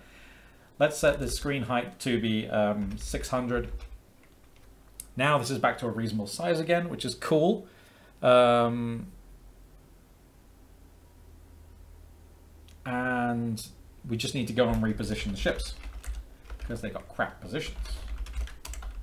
And we'll just do that from the inspector, to be honest, because it's going to be easier than farting around with anything else. So let's go into ship one. Let's set its position to be They're 52, then we'll do minus 100. Um, we'll go into this one. We'll leave it at zero. We'll take this one and make its position be positive 100. Cool. Now we've got those guys all set up. Um, their movement is obviously tiny because um, again, we, it's shifting by one pixel backwards and forwards, or one game unit rather backwards and forwards. So let's go to our test file and we'll find our ship and then we're just going to go and multiply this value by... Come on. 200. Cool.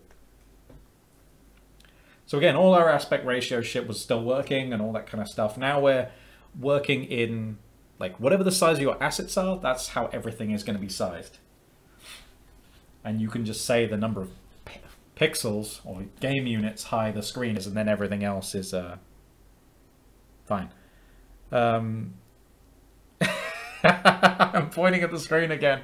Fuck. Yeah, it's over there. It's over there. Check it out. It's good stuff. I especially love the fact my hands, it's not even like you can infer where my finger is because I point like this, so the hand is fully off screen. Oh, such quality. Uh, we need a multi-camera production. yeah. But then I'm just going to fuck up the switching around between cameras, so let's not. Mmm, cold coffee.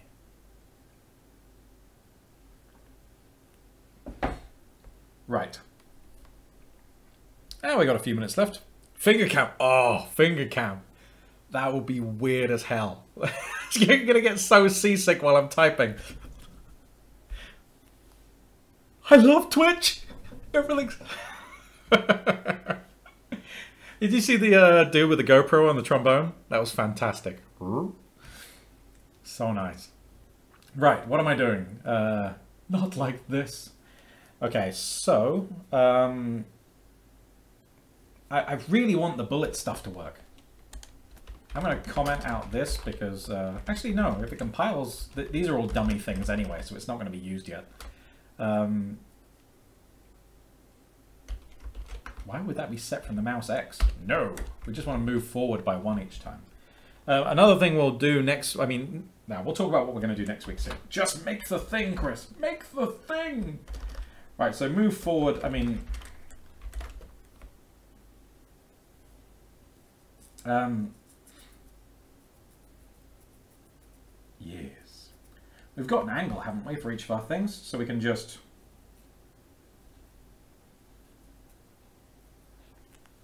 Um,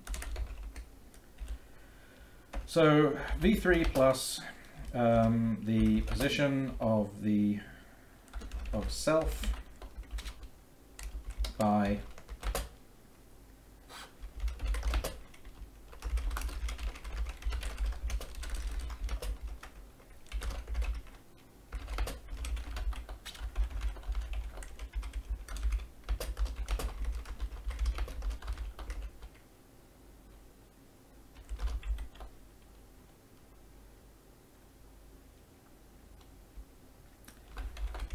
and we're going to take angle from degrees to radians.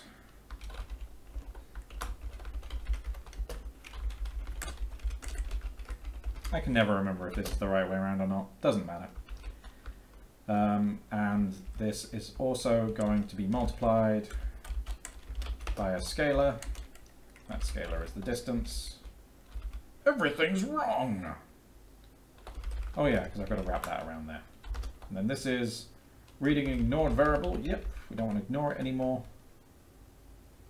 And that's it. Maybe? I suppose we'll find out. Um, one thing we're not doing in, in any way is um, accounting for frame rate, but it'll be fixed to 60 frames a second, I think, uh, by default. So unless I uncap that, ah, you know, we'll deal that another day. We're going to do We'll actually probably do a whole episode, or at least half an episode, on um, fixed time step stuff, because I want to go through and get that right.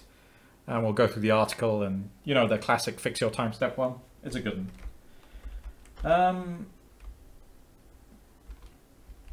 for now, since we don't have a bullet texture on hand, I'm going to use uh, the first shuttle as the the bullet.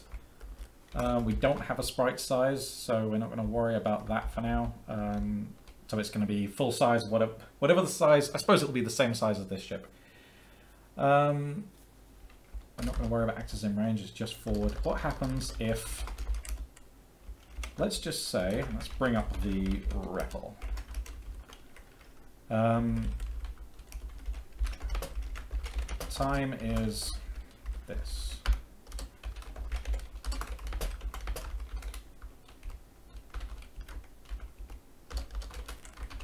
Let's say when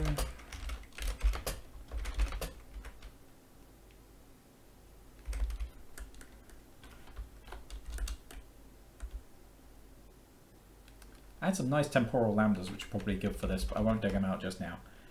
Um,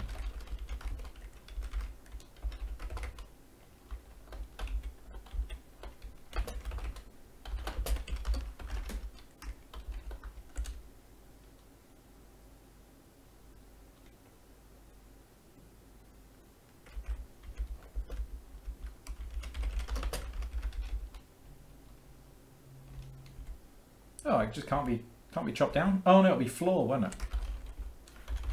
Idiot. Okay.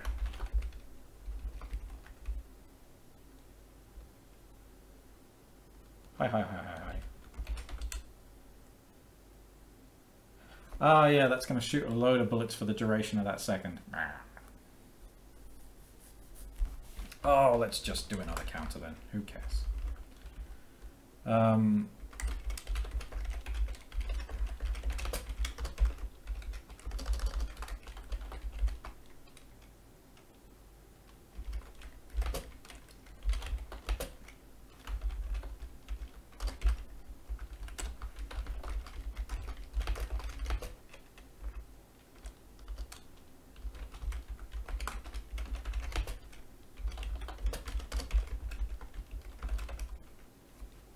Every four seconds we should get some bullets. That's too often. Let's that's too infrequently rather. Let's do it every second.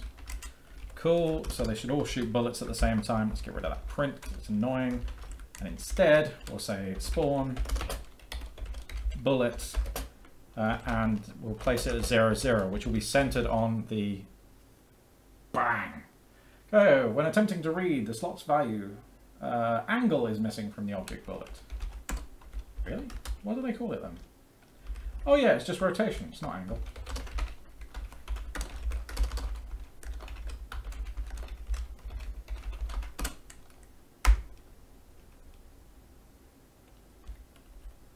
Not a smart kid. Right, okay. Um, let's make sure that it's definitely afloat. Oh, that's good. They're making bullets, but they're not moving anywhere because move forward one is far too damn slow. And it doesn't seem to work anyway. What? Right, okay, so let's... Uh... That's interesting. Again, not the smartest kid. Right, set of position to be and they're off. Cool. Now we're talking. Right. Sweet. Okay. Two minutes to ten. That's enough. So, this is at least the first sketch of what I was wanting to do, which was the fact that when you're doing things, you're doing it relative to yourself. What we're going to do over probably, I think next week we'll um, yeah, I'm not sure what we'll do next week. I'll come up with something. There's there's obviously plenty to do. Um, but the first bit was obviously that we, when we spawn something, we do it relative to ourselves. Everything is going to be relative to ourselves. So when this guy gets the position of this guy, um, he's going to get a vector from him to that. Um, and we're going to write loads of functions which are done that way. And yeah, then basically at the moment, both of these have their own independent loops, technically. Um, one thing that we didn't do is do the um, lockstep updates. So at the moment, it's going through mutating the objects in this array and not using this array at all. What we want to do is read from this one and write into this one and then swap. And we will do that. Yeah, that's what we'll start with next week, I think. But seeing as we have um,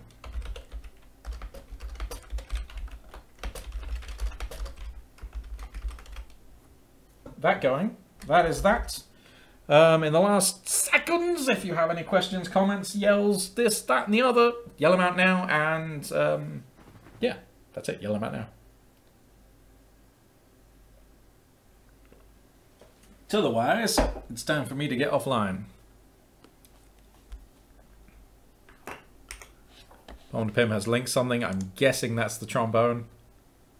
Trombone Bells GoPro. Fucking awesome.